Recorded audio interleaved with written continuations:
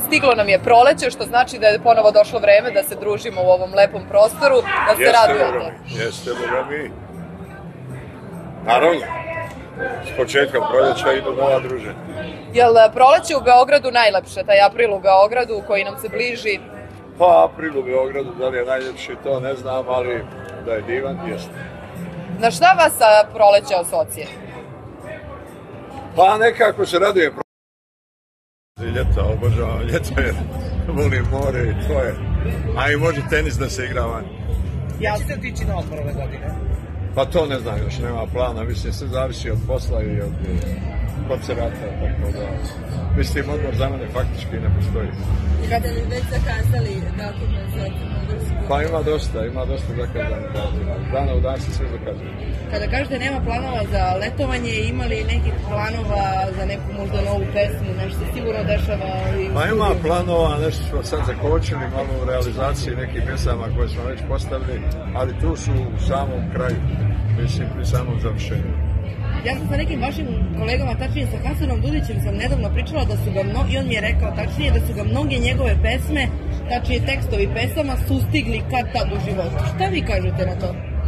Pa ne znam, ja sam pravio pjesme onako, ovaj, još ko klinac sa 20 godina, počeo sam da pravim nešto da pokušavam. Pa ovaj, te pjesme su izašle tada negdje u mojoj 25. 7. godini, takve su kakve jesu, da li su sudbinske ili nisu, to ja ne znam. Malo pre kada ste pomenuli tenis, jeste li igrali tenis sa Alenom Islamovićem? E, zvao me na turnir u Bihać, ali nisam mogao da idem jer sam imao neki koncert. Pre, e, pre izvesnog vremena kada sam ja razgovarala sa njim, on vas je pominjao i rekao je da bi voleo ovoga puta, ove godine Bijelo dugme proslavlja 50 godina i kaže voleo bih da se desi da oni ponove onaj e, čuveni nastup Zvezda Tera meseca, ali da me obavezno pozovu. Hoće li se to možda desiti? Pa da oni mene pozovu ili šta? Odnosno, vi njega da pozovete da se sad i Alen priključi. Vi, Čola, Brega, on. Ali ne znam ja da li je to...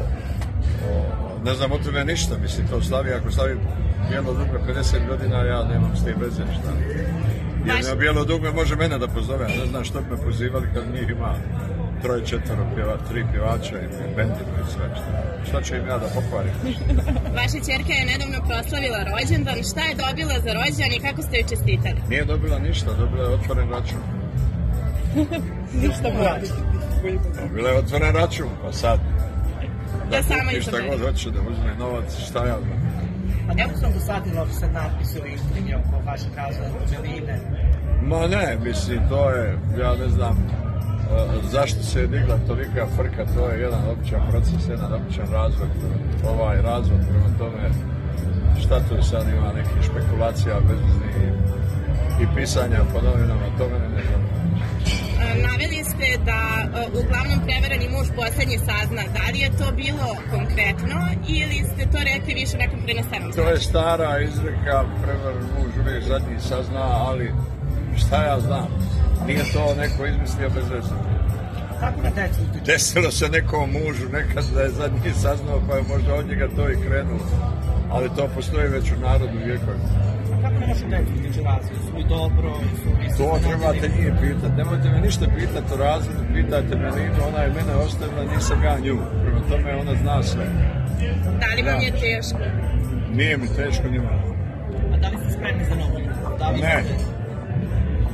Čega? Ne, tako, principijalno ne.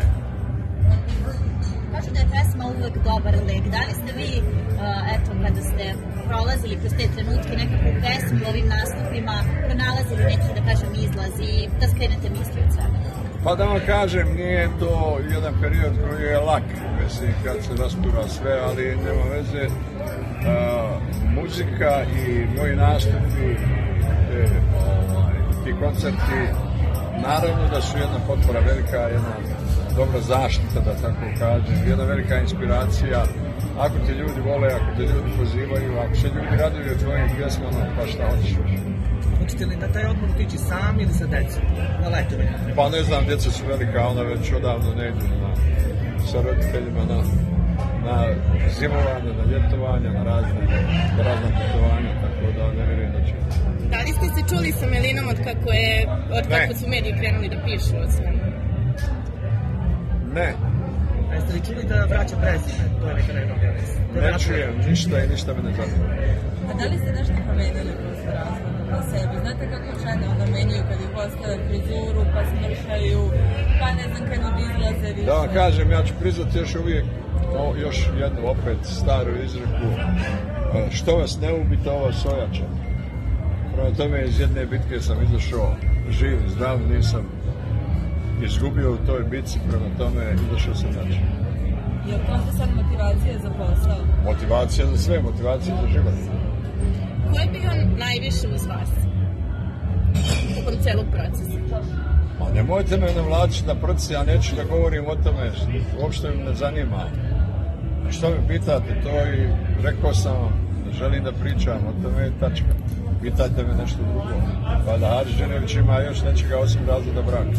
Ima definitivno, ali znate i sami u poslednje vreme, evo, svi mediji su govorili o tome, ali je teško zato što baš kada se to desi, vi nemate pravo onda da se to dešava negde iza zatvorenih vrata i nemate pravo negde sa druge strane na tu privatnost. Da su to dani kad pomislite šta vam je ovo Pa Dobro, donalo? to, je, to jeste i trebalo bi da bude privatnost, ali obzirom da sam ja poznat čovjek i gospođica djelomično, prema tome šta. Logično je da se vi lijepite za, za takve stvari. A rekao sam već neko nije vijest, nego je loša vijest, dobra vijest. To vas zanima. Nedavno su na Koponiku nastupili Brenda i Čola zajedno i onda Brenda rekla da je to njen neostvarena želja. Imate nekog od vaših kolega s kojim je ostala neostvarena želja da zapevate zajedno? Pa dobro, neki, neke kolege su i otišle i pjevali smo zajedno, a nešto nemam prevelike ambicija niti želja da i pjevam s nekim ili da pravim neke duete. Ako se komponuje nešto, ako se desi nešto, što da. A kako bi izgledao film o vašem životu? To je sad dosta Otkud ja znam kako bi izgledao film o mom životu, kako što Ali bi, bi bilo zanimljivo. Bilo bi zanimljivo, sigurno. A biste volili da se snimi film? Pa ne znam sad, ne razmišljam o tome, ali to je primamljiva ponuda, recimo, ako bude postojala. Ko bi vas igrao? Ko bi igrao mene? Ja. Jer verujete onda u veštačku inteligenciju da vas ono možda podmogne pa da vrate karista iz 20. Pa godine? ne znam, mislim da li ima potrebe i tako dalje, ali film može sve. Da li planirate da obradujete vašu publiku nekim koncertom u Beogradu? Pa koncert treba da dođe kao posljedica neke nove ili ploče, ne ploče, mislim sad se to, ja još uvijek ostajem ovim starim izrazima vjeran, ovaj, neki novi pjesama, ali sad se ne pravi neki CD ili neka kompilacija sa desetak pjesama, izbacuje se jedna, dvije, tri pjesme.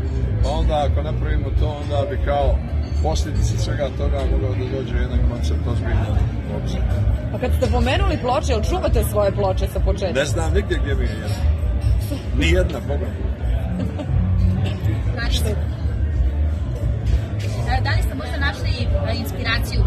Proleće, kažu da su tada ljudi raspoloženiji za možda neke nove pesme, mnogi Evo sad pričamo upravo o tome. mnogi vaši kolege pišu i knjige. Da li biste možda, ako ne film, da li biste onda možda napisali knjigu o svom životu? A nešto sam i na tom planu počeo raditi davno, pa sam poprilično ovaj, također davno i stao.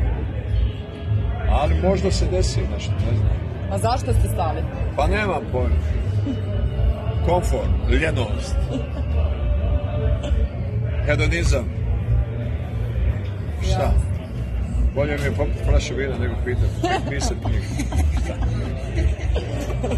Šta je ono u čemu u poslednje vreme najviše uživate? Da li je to dobra hrana, putovanje, Dobro dobro piće? I u posljednje vrijeme ja uživam u piću i u putovanjima cijeli život. Tako da to nije u posljednje vrijeme, to je od samog početka. Znači to je nešto što možete da izdvojite da vas onako najviše relaksira, da, da vas najviše I raduje. raduje i to je ritual jedan. Tako da nije to bez veze. Bar meni. A ovih dana koju pesmu najviše volite da čujete? Nemojte me pitat koju pjesmu najviše voli, to je kao kad pitate majku sa devetero djece koje Ali djete to, najviše voli. ali to mnogo govori o čoveku koju pesmu ovih dana najviše sluša. Ne, ne slušam ništa, šta dođe do uha.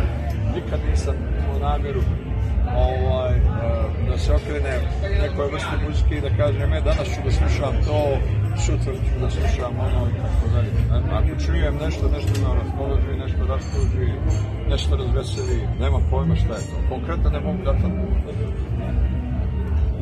Volio bi da znam i da imam ciljnu grupu i da kažem to je to, ali zaista ne postoji. Znači, kako vali nose? Pa kako vali nas je.